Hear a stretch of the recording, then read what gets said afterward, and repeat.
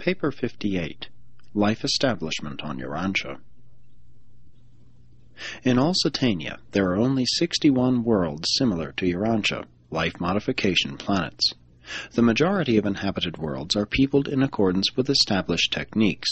On such spheres, the life carriers are afforded little leeway in their plans for life implantation but about one world in ten is designated as a decimal planet and assigned to the special registry of the life carriers, and on such planets we are permitted to undertake certain life experiments in an effort to modify or possibly improve the standard universe types of living beings.